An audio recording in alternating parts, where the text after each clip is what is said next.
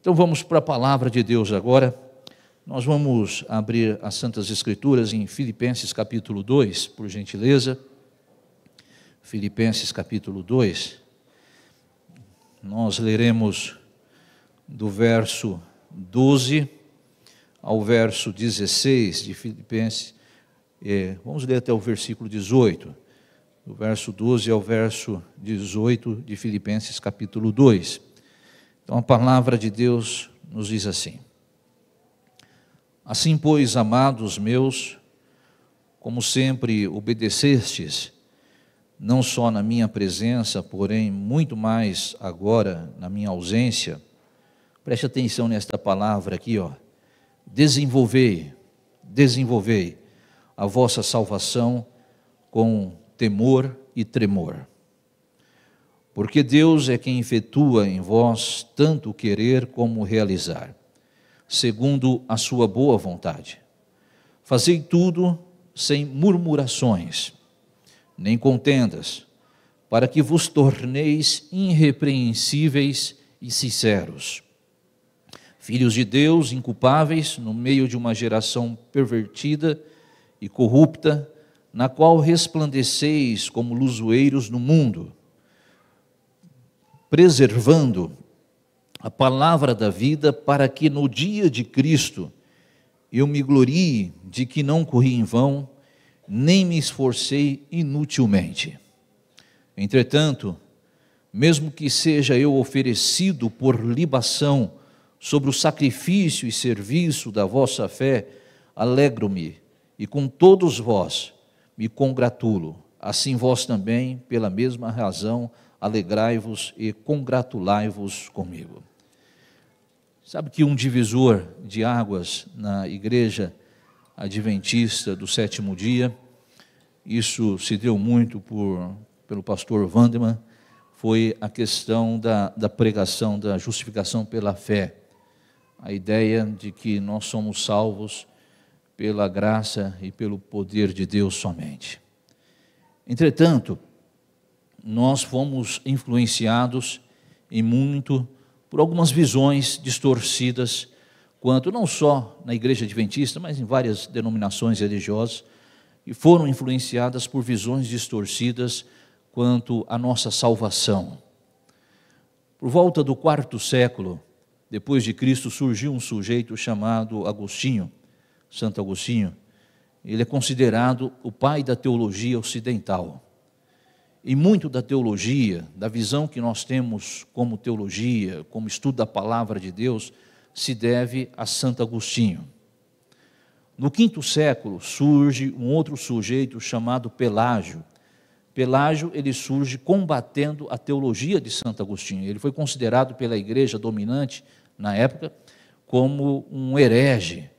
Mas a teologia de Pelágio, ela trouxe muitas más influências para a igreja cristã.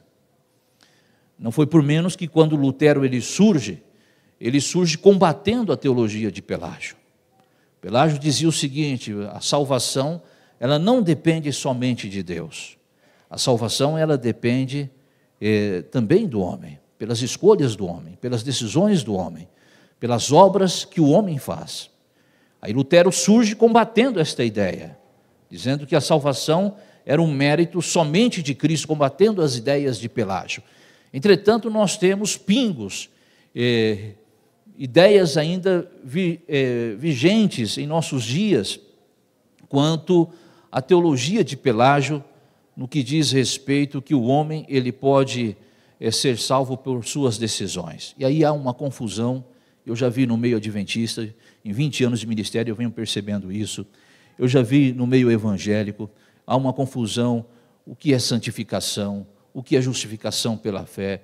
Santificação é uma ação é, inteiramente do homem, significa fazer ou não fazer alguma coisa, dizer ou não dizer alguma coisa, guardar ou não guardar alguma coisa. O que é justificação? O homem tá, está no processo de justificação. E aqui o apóstolo Paulo, em Filipenses capítulo 2, ele apresenta o que significa santificação. E nós vamos ver hoje isso qual o significado de santificação conforme o apóstolo Paulo, que o Paulo ele aponta para a santificação. Observe que o apóstolo Paulo, eu pedi para que os irmãos prestassem atenção nesta palavrinha, desenvolvei a vossa salvação. Esta palavra ela causa às vezes um certo espanto e, um, e certas dúvidas quanto à salvação, porque Paulo fala assim: olha, desenvolvei a vossa salvação. A ideia que se passa aqui quando você lê só esta parte é que as, o desenvolvimento da salvação é inteiramente humano. Paulo está dando uma ordem, é imperativo que o homem ele desenvolva a salvação, que ele faça alguma coisa para ter a salvação. É essa ideia que se passa quando você lê o texto, Paulo dizendo: desenvolvei a vossa salvação. Entretanto, se a gente para que desenvolver a vossa salvação, é essa ideia que nós temos. Só que Paulo ele vai trazendo uma condição para o desenvolvimento da salvação. Ele traz uma condição. E ele diz o seguinte no versículo no versículo 12, ele fala assim: "Desenvolvei a vossa salvação", e ele dá a condição com temor, ele diz. E com tremor, ele diz. Muda completamente o texto. O texto agora ele não está jogando para o homem a responsabilidade da salvação ou da santificação, mas o texto está agora jogando, transferindo isso para Deus, quando Paulo usa o termo temor e tremor.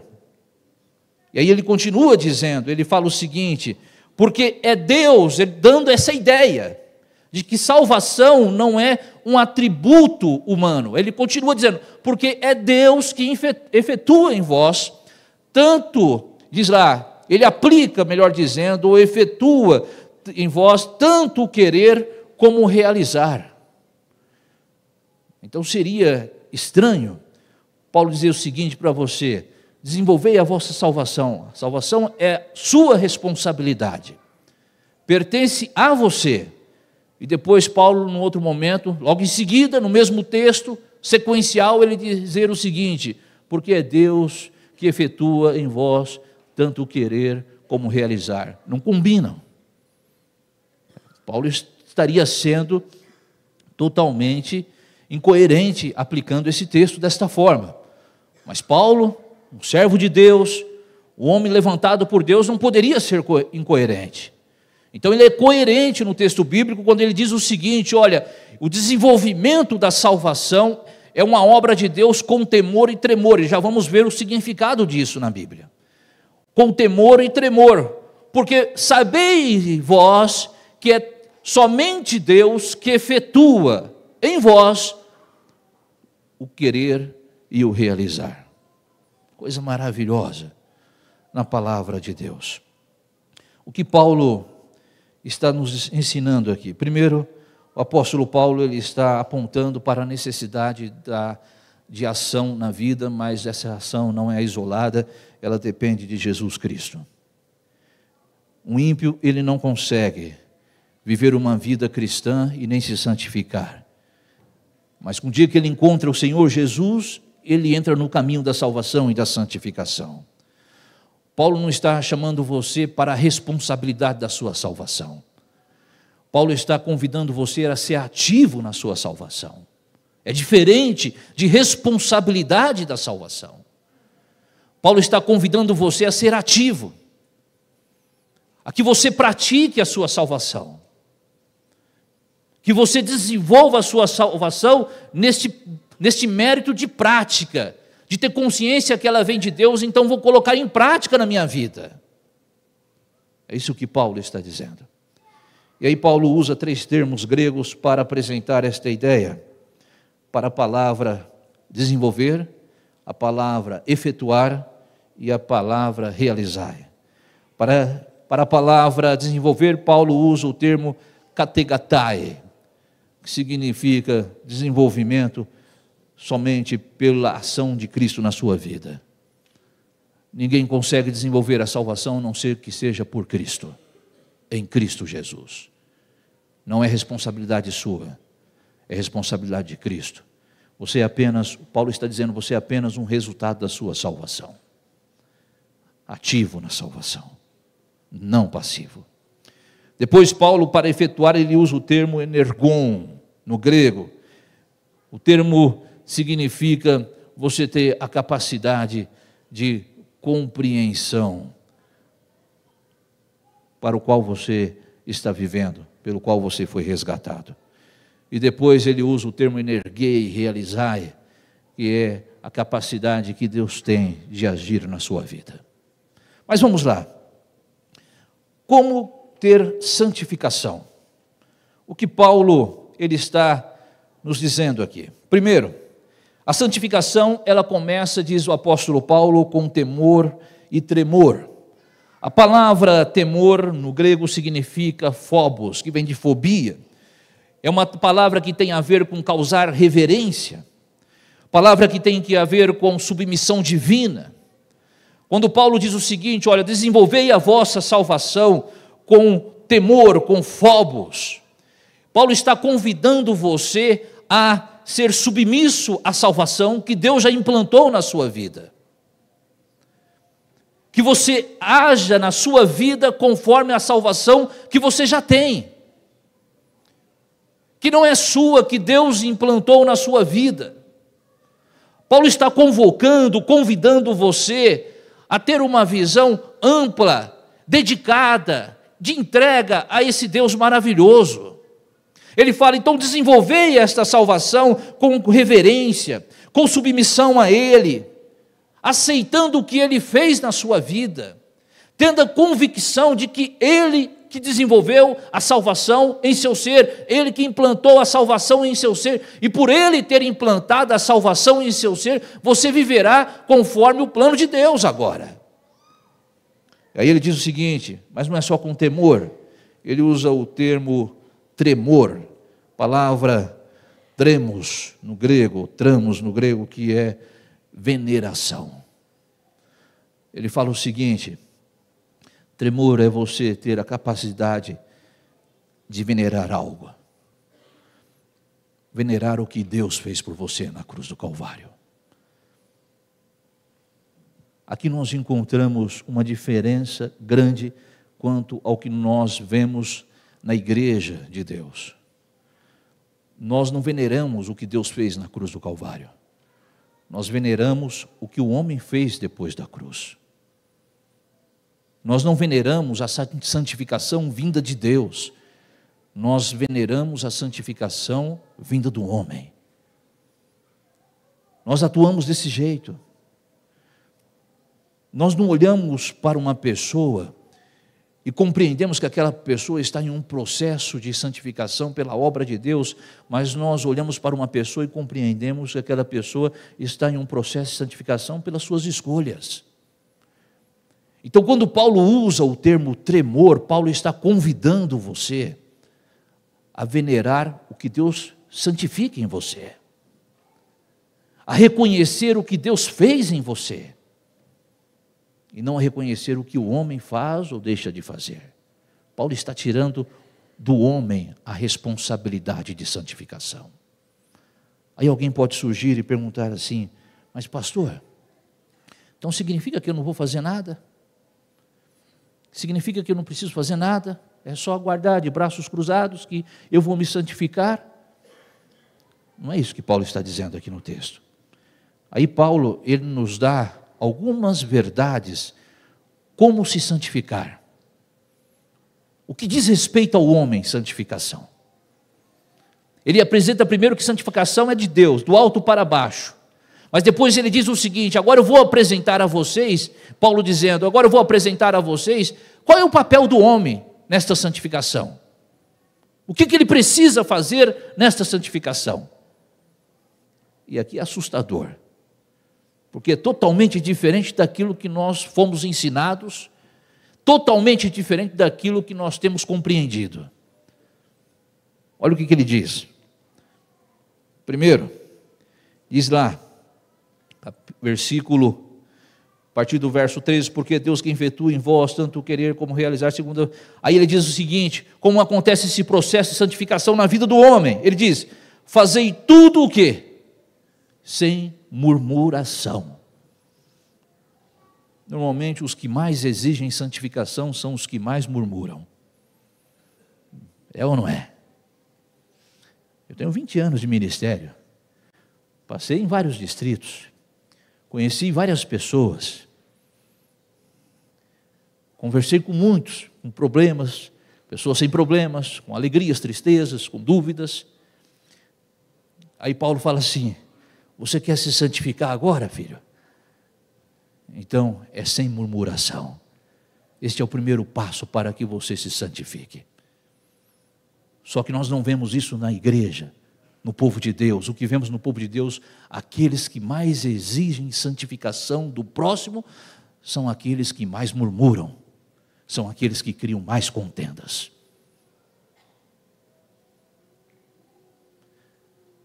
Deseja santificar? Paulo está dizendo, sem murmuração sem contenda. Esse é o seu papel. Não é fazer ou deixar de fazer, guardar ou deixar de guardar, porque isso é obra de Deus atuando na sua vida. Isso será uma coisa muito lógica, algo muito lógico na sua vida. Mas você quer se santificar? Você quer participar disso? Você só conseguirá se for sem murmuração e sem contenda. E pode observar, se você é um sujeito, alguém que murmura muito, perceba-se que sempre está longe daquilo que você deseja para a sua vida. Aqueles que são mais complacentes com o outro, com o semelhante, com o evangelho na vida de cada um, entendendo o processo na vida de cada pessoa, são aqueles que estão mais próximos de Cristo. Tem amor, sabe lidar com as diferenças, entende perfeitamente a razão do viver em Cristo, tem paciência com um irmão que não está conseguindo alcançar uma vida religiosa, tem dificuldade de criticar, mas tem um coração aberto para receber os pecadores. Deseja se santificar? Então, sem murmuração e sem contenda. Não tem outro jeito. Não tem outro jeito. Paulo está dizendo: se você fazer, diz lá, desenvolvei a vossa salvação com temor e tremor, sabeis que é Deus que realiza em vós tanto o querer quanto realizar, segundo a sua boa vontade. Agora, se você deseja crescer em santificação, fazei todas as coisas sem murmuração. Forte, né? É verdade ou não é? Os que mais exigem do próximo santificação não são os que mais murmuram, são os que mais apontam os erros, são os que mais criticam, são os que mais detonam, são os que mais dizem que fulano não está preparado, que ciclano não está preparado, que Beltrano não pode entregar a vida a Cristo. Quando aqueles que desejam santificação deveriam receber a todos de braços abertos. Paulo está falando. E aí, Paulo nos apresenta um segundo argumento, se você deseja a santificação. Olha o que ele diz.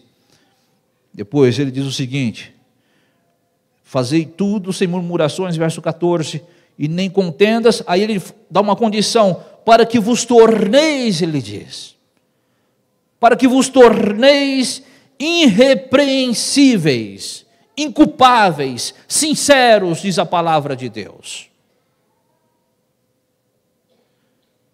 Então, Paulo está dizendo aqui o seguinte: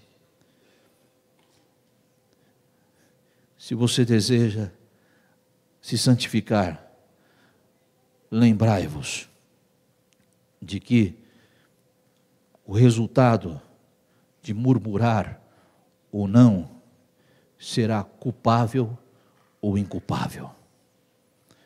O resultado de criar contendas ou não será repreensível ou irrepreensível Paulo está dizendo o seguinte: se você deseja se santificar, crescer em santificação, você precisa ser uma pessoa inculpável, irrepreensível.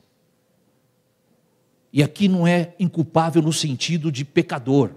Paulo não está falando nisso. Inculpável, ah, fulano não peca, é santo, santificado. Não é nesse sentido que Paulo está dizendo isso.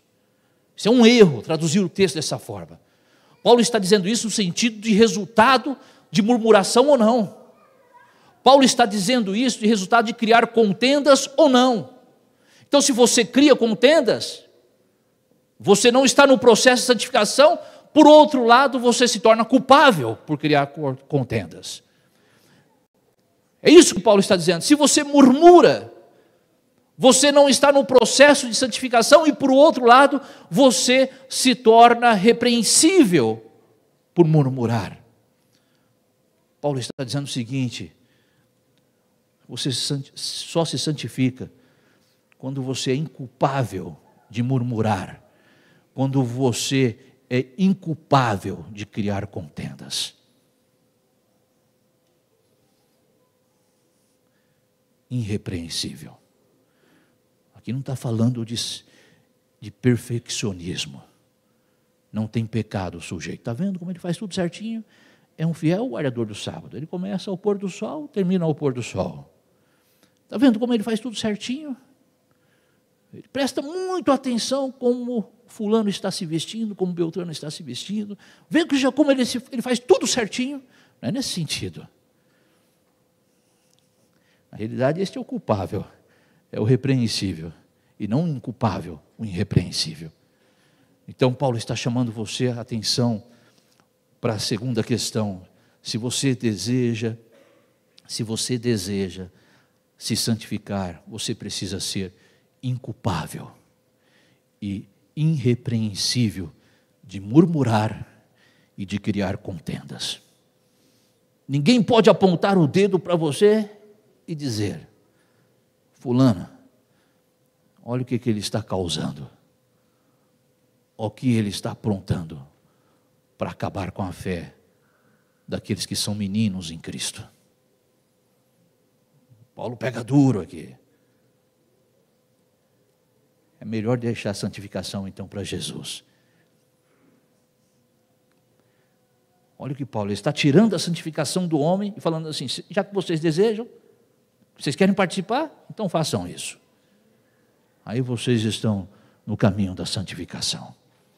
Olha o seguinte, veja o que ele diz ainda, terceira lição que Paulo nos traz aqui sobre o desenvolvimento da santificação, para que vos torneis irrepreensíveis, insinceros, filhos de Deus inculpáveis no meio de uma geração pervertida e corrupta, no qual resplandeceis como luzoeiros do mundo. Aí ele fala, ele diz o seguinte: preservando a palavra da vida, para que no dia de Cristo eu me glorie de que não corri em vão, não me esforcei inutilmente, diz a palavra de Deus. Terceira chamada que Paulo nos traz aqui. Ele fala assim: que você, meu querido irmão e minha querida irmã, preserve a palavra da vida. Qual é a palavra da vida? Qual é a palavra da vida? Já pararam para pensar? Paulo está falando desta palavra da vida? Sim ou não? Paulo está falando desta palavra da vida? Não, não é desta palavra da vida. Qual é a palavra da vida que o apóstolo Paulo está falando? Não é da Bíblia, não é das Santas Escrituras. Qual é a palavra da vida? Preserve a palavra da vida, ele diz. E o Verbo, São João capítulo 1, se fez carne e habitou entre nós o Verbo se fez carne, a palavra se fez carne e habitou entre nós. E ela se tornou a luz dos homens, a vida dos homens. Paulo está falando aqui da natureza da encarnação de Cristo. Preserve o que Cristo fez por tua vida. Paulo está falando na natureza do Verbo da divindade do Verbo, da capacidade do Verbo de transformar vidas, de mudar vidas. Então ele começa com Cristo, dizendo que é dele o querer e o realizar, e Paulo encerra com Cristo, dizendo que ele é o início e um fim de uma vida santificada. Ele é o início e o fim de uma vida santificada. Por isso que Apocalipse ele fala, diz o seguinte: ele é o alfa e o ômega, o princípio e o fim. Ele é o alfa e o ômega. Paulo então nos dá três lições especiais para aqueles que desejam se santificar. Primeiro, reconheça que você precisa venerar o que Cristo fez e não o que os homens fazem. Segundo, isso é tremor. Segundo, reconheça que você precisa ser submisso à vontade dEle, à vontade de Deus, à vontade do Senhor na sua vida. O que Ele deseja para a sua vida. Terceiro, já que você deseja se santificar, se santifique sem murmuração, sem criar contendas. Para que, vos, para que vos torneis inculpáveis, irrepreensíveis, preservando o que ele já fez na sua vida, a palavra da vida. Paulo está te dizendo o seguinte aqui: a santificação começa com Cristo e encerra com Cristo. Ele começa e termina. Ele é o princípio e o fim de todas as coisas. Que Deus abençoe vocês e que a graça de Deus esteja com vocês hoje e sempre. E que vocês sejam orientados sempre pelo poder de Deus. É o nosso desejo e a nossa oração. Amém. Amém.